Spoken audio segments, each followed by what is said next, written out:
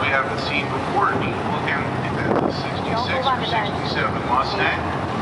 Some pretty big tires on it. Chevy has a pickup for Laura Lane. 这 Sonoma